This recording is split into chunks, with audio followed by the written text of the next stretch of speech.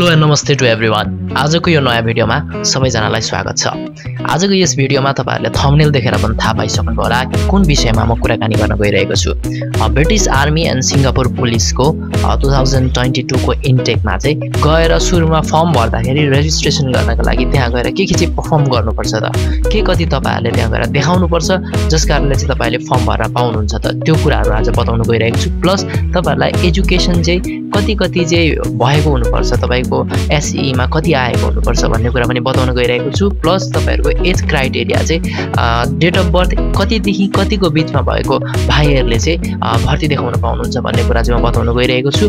तसर्थ यदि तपाईँहरू पनि टु थाउजन्ड ट्वेन्टी टू इन्टेकमा चाहिँ म ब्रिटिस आर्मी र सिङ्गापुर पुलिसमा भर्ती देखाउँछु भन्ने चाहनुहुन्छ भनेदेखि यो भिडियोलाई अन्तिमसम्म हेर्नुहोला।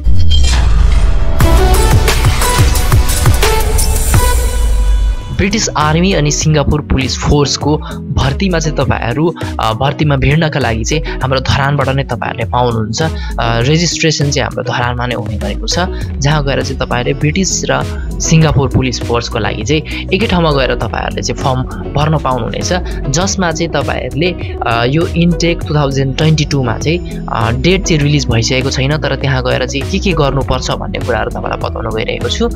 सर्वप्रथम तपाईँहरूले त्यहाँ गएर फर्म भर्न गर्नका लागि ब्रिटिस आर्मीको चाहिँ तपाईँहरूले सिक्सपल्ट चाहिँ ओभर आर्म हेभिङ गर्नुपर्छ भनेदेखि मिड थाइपुल तपाईँहरूले छयत्तर सेभेन्टी सिक्स केजीको चाहिँ मिड थाइपुल उठाउनु पर्ने हुन्छ। त्यसपछि तपाईँहरूले फर्म भर्न पाउनुहुनेछ ब्रिटिस आर्मीको लागि। भनेदेखि तपाईँहरूले चाहिँ सिङ्गापुर पुलिस फोर्स यानि कि जिसीको लागि तपाईँहरूले यदि फर्म भर्न खोजिराख्नु भएको छ भनेदेखि चाहिँ तपाईँहरूले मात्र आठपल्ट ओभर ह्याम ह्याभिङ गर्नुपर्ने हुन्छ। यसमा चाहिँ मिड थाइपुल तपाईँहरूले गर्न पर्दैन। र त्यसै गरी मिनिमम तपाईँहरूको हाइट चाहिँ कति हुनुपर्छ त भन्दाखेरि ब्रिटिस आर्मी र सिङ्गापुर पुलिस फोर्स बोथको लागि चाहिँ तपाईँहरूको मिनिमम पनि one hundred fifty eight CM हुनुपर्छ। र त्यसै गरेर बिएमआईको कुरा आउँछ। बिएमआई भनेको बडी मास इन्डेक्स हाइट अनुसारको वेट तपाईँको कति हुनुपर्छ भन्दाखेरि बिएमआई चाहिँ सत्रदेखि तिसको बिचमा हुनुपर्छ। यसलाई तपाईँले कसरी नाप्ने भन्ने कुरा तपाईँले सर्च गर्नुभयो भने भेटिहाल्नुहुन्छ। र प्लस तपाईँले चाहिँ अब तपाईँको एजुकेसन क्वालिफिकेसन चाहिँ के के चाहिन्छ त भन्ने कुरा म बताउन गइरहेको छु। एजुकेसन क्वालिफिकेसनमा चाहिँ नेपालको कन्टेक्समा हेर्ने हो भनेदेखि तपाईँको जम्मा छवटा मेजर सब्जेक्ट र दुईवटा चाहिँ अप्सनल सब्जेक्ट रहेको हुन्छ। जसमा छवटा मेजर सब्जेक्टमा English Nepali math science social र इपिएच रहेको हुन्छ भनेदेखि अप्सनलमा अप्सनल म्याथ कम्प्युटर त्यसै गरेर एकाउन्टहरू रहेको हुन्छ। र हेरिन्छ के भन्दाखेरि तपाईँको मेजर सब्जेक्टहरू मात्रै हेरिन्छ। मेजर सब्जेक्टको पनि ब्रिटिस आर्मीको लागि तपाईँले ल्याउनु पर्ने हुन्छ तिनवटा सी र दुईवटा डी तिनवटामा चाहिँ मिनिमम पनि तपाईँले सी ल्याउनु पर्ने हुन्छ र दुईवटामा चाहिँ तपाईँको डी आयो भने पनि कुनै फरक पर्दैन।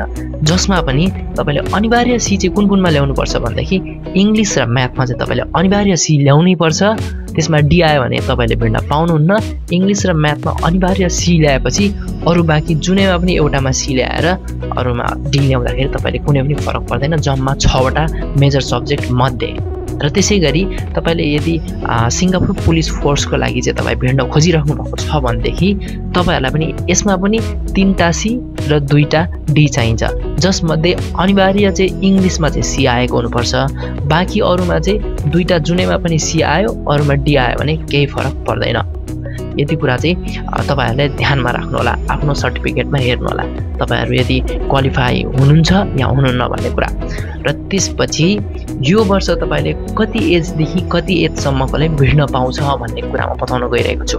एज चाहिँ तपाईँहरूले डेट अफ बर्थ यदि तपाईँको चाहिँ टु थाउजन्ड वान जनवरी वानदेखि टु थाउजन्ड फोर जनवरी वानसम्मको छ भनेदेखि तपाईँले भिड्न पाउनुहुनेछ। यो डेट अफ बर्थको बिचमा यदि तपाईँको डेट अफ बर्थ पर्छ भनेदेखि तपाईँले भिड्न पाउनुहुनेछ।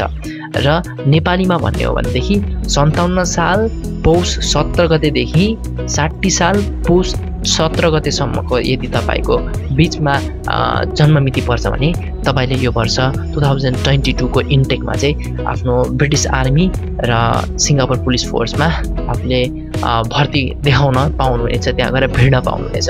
र यो थियो तपाईँले यो इन्टेक टु थाउजन्ड ट्वेन्टी टूमा चाहिँ रेजिस्ट्रेसन गर्नको लागि फर्म भर्नको लागि के के त्यहाँ गएर पर्फर्म गर्नुपर्छ र अन्य क्राइटेरियाहरू चाहिँ के के छ त तपाईँको एजुकेसन क्वालिफिकेसन के के चाहिन्छ भन्ने कुरा मैले आज बताइसकेको छु।